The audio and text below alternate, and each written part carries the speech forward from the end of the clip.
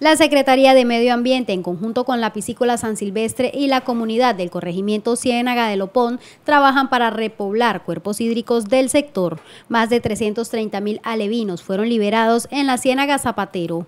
Estamos haciendo el segundo repoblamiento hídrico que corresponde al contrato que actualmente estamos desarrollando con la piscícola.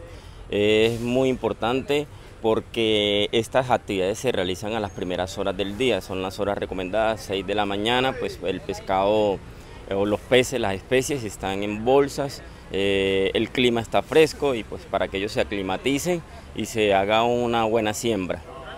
Son estrategias de fortalecimiento, fortalecimiento a nuestros pescadores, fortalecimiento a nuestros cuerpos de agua y van ligados a otras actividades que está haciendo el distrito como es la limpieza y recuperación de los cuerpos hídricos. Nosotros eh, vamos limpiando los caños, mejorando los hábitos cenagosos mediante limpiezas para que haya una buena comunicación del agua a través de estos cuerpos de agua, es decir, que haya vida. Entre las especies repobladas se encuentran alevinos de boca chico, doradas y blanquillos, especies que juegan un papel fundamental para este ecosistema y benefician a la comunidad que habita este corregimiento. Con comunidades e instituciones estuvimos realizando un repoblamiento con especies boca chico, dorada y blanquillo.